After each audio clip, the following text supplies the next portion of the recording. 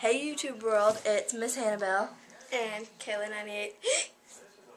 and this is Experiments with Kayla and Hannah. uh-huh. Pretty cool. hmm Okay. So tune in for some awesome experience experiences, like, experiments. comment, and subscribe. Do it. So we are making science experiments, and this is a cool colored experiment with milk. Take milk, just ordinary milk, an ordinary plate. Any kind of milk. Yes.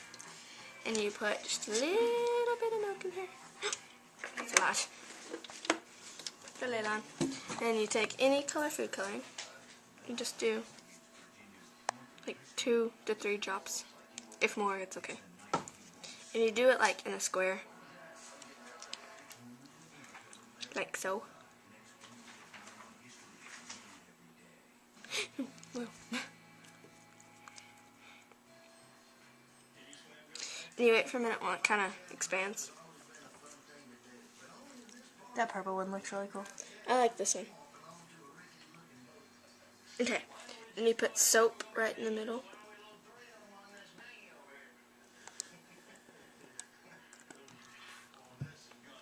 And watch the magic.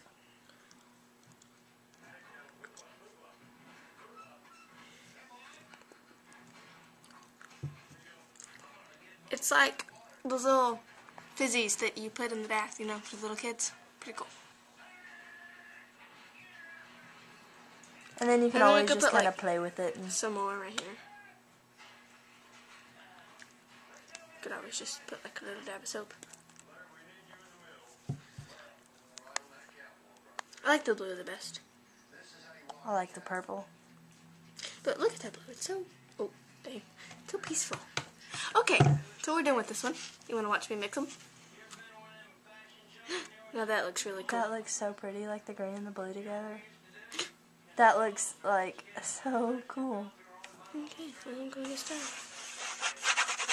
Now you're making it look ugly. Oh, okay. Quick tip from the science lab: If you get food coloring on your fingers, just use toothpaste. Scrub it like normal soap. Hey you guys, so this experiment is to make a solid and a liquid at the same time. I know, it sounds like crazy, but it works. Alright, so Here's some already made up. Yeah.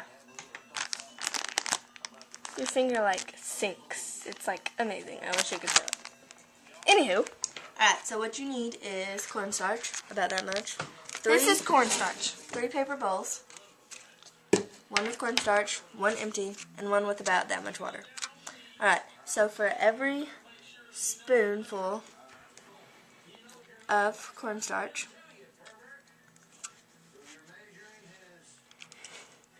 you're going to take a spoonful of water.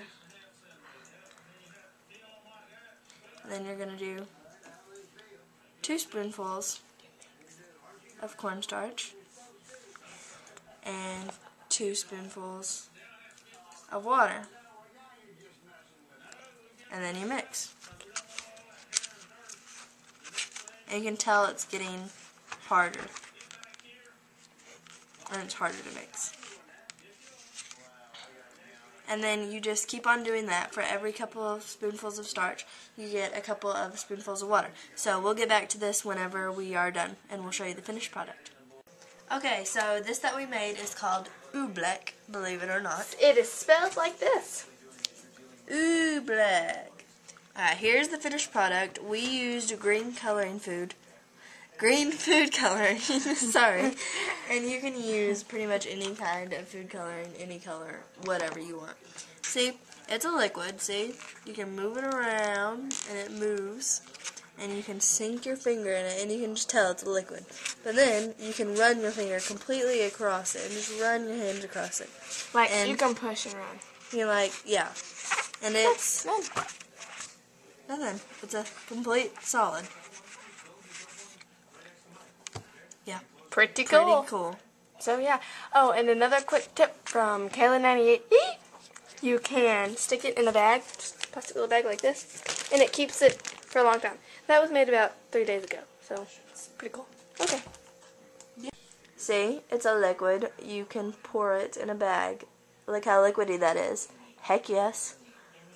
That is definitely a liquid if I ever did see one. So any of you people saying that it's not a liquid, that is definitely a liquid. So don't comment saying we're liars. because it is a liquid. Try it yourself. But it's also a solid. How Break cool is that? too. That is the most amazing thing ever. Hannah Hearts Oobleck. Yeah, it looks like snot, Kayla. Kayla's snotting.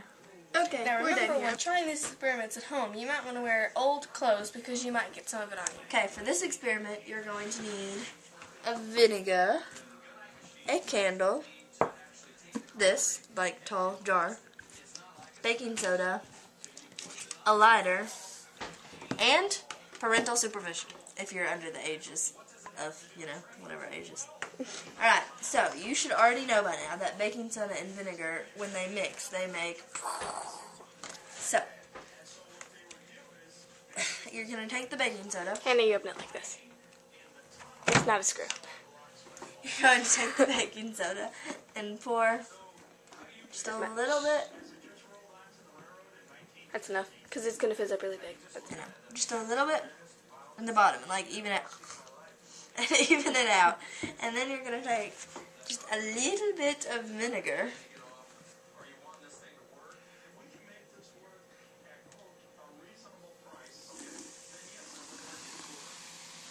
And as you can tell, it's fizzing.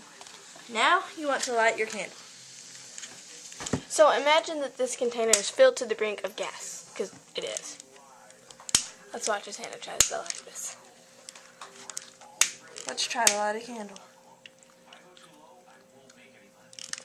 Alright.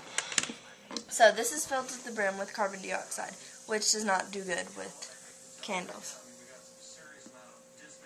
As soon as you put the opening to uh, the bottle up to the candle, the flame immediately goes out due to the gases. How cool is that?